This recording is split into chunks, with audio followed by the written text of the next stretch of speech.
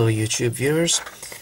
I'm currently building a high-speed brushless spindle for the milling machine and I'm using a little brushless motor that's intended for model car racing. This is a it's a, called a 2430 size motor and it will it's an in-runner motor and it will do up to about 50,000 RPM. I've got the motor itself, uh, speed controller and uh, what's called a servo tester which is just a, a, manual way of producing the signals required for the, speed controller. Unfortunately all of this is generally intended to run off lithium ion or lithium polymer cells as used in model aeroplanes, model cars. And this is about this requires two cells, which is around 7.5 volts, which is unfortunately not a common uh, power supply voltage. 5, 12, 24, that's no bother. So, uh, and it also needs to be at quite a high current. Um, this is a 25 amp speed controller. So,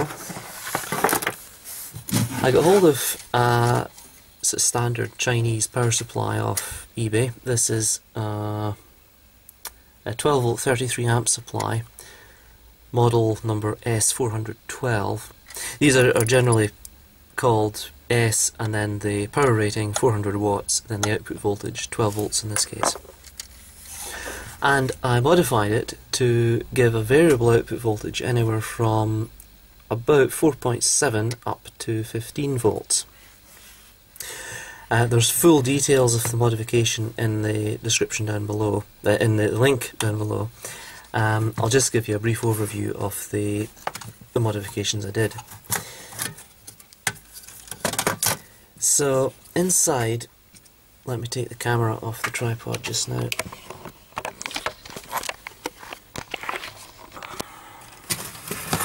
I traced out the entire circuit here, uh, a schematics available on the on the website below.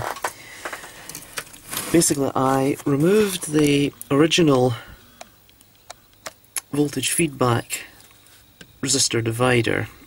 There was a little uh, trim pot there which let you trim the voltage at plus or minus 10%.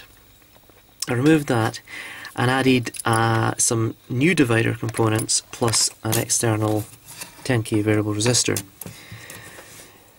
Details of this again in the in the website page below. Um, and I also added, just for good measure, a little voltage module. These are great little things, they're about $5 off eBay. Um, this one runs off anywhere from 5 to 30 volts and uh, measures anywhere from 0 to 30 volts. It automatically shifts the decimal point to, to suit the voltage range. Uh, this is powered off uh, an additional power supply. The again full reasons for this are given in the the website. Um, basically, when the when the, the, the whole supply is unloaded or is, is operating in a very low load, uh, the supply goes into a sort of self-excited mode, and the auxiliary supply voltage becomes a little bit unstable. And I found this was uh, causing problems with the, the voltmeter module. So I added a, a, completely separate supply. It's still derived from the transformer windings, but it's completely separate from the auxiliary supply used for the, the TL494. Uh, that gives you a, a nice smooth supply for the voltmeter module. So on the surface, uh, modifications are quite simple. I did spend quite a bit of time trying to understand the supply, just how it worked. Um, so I'll close with a short clip showing the adjustment over the full range and uh, please check out the, the website below for, for full details. Thanks for watching.